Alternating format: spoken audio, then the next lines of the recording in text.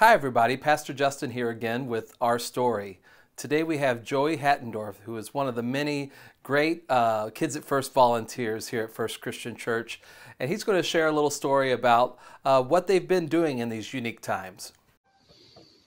Hey, FCC family. My name is Joey Hattendorf. I am one of the small group leaders for Kids at First. Um, I am part of the preteen or uh, fourth and fifth graders and I wanted to just fill everybody in on some of the things that we've been doing to stay connected with our kids during this uh, shelter in place.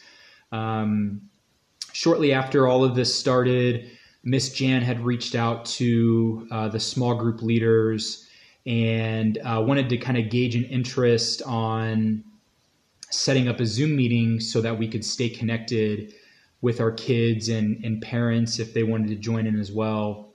And uh, right off the bat, um, I thought it was a really, really good uh, idea.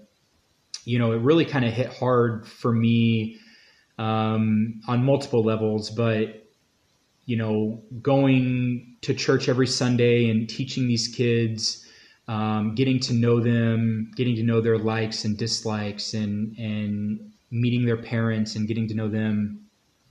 Um, for all of that, just to kind of abruptly stop uh, was a really big bummer for me personally, and uh, I thought this was a great idea uh, from Jan, and and um, it's been working out really really well.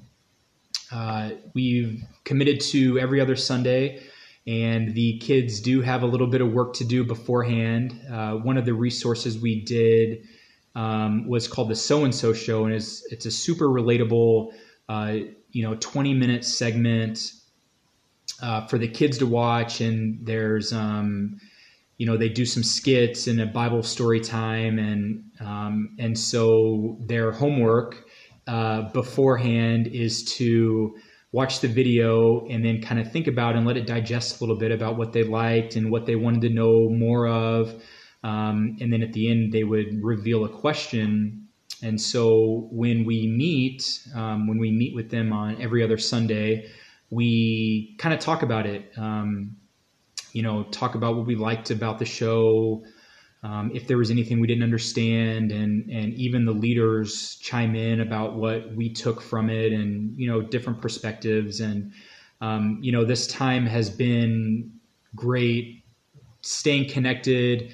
Um, you know, doing that mental check in that we all need. Uh, you know, summers normally are vacations and sports or hanging out with friends and you know we don't necessarily get to have that this summer and so it's important to um, you know really check in and um, you know really instill uh, with them at this impressionable age that you know we might not understand everything but but god's in control he knows what's going on and uh, and all of this, um, you know, it happens for a reason, and we just need to um, stay true to who we are and and remain faithful, and and that we will uh, we will get out of this better than when we went in. And so, um, just being able to remind them of that uh, has been great. Um, so, thank you very much.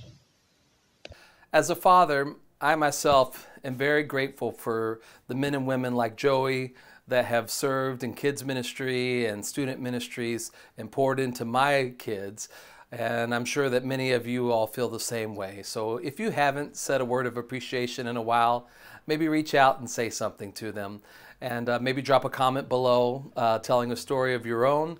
Um, and if there's a story that you would like to share with the greater community, could you uh, send me an email at stories at fccnapa.org. Until next time, God bless you guys and have a wonderful weekend.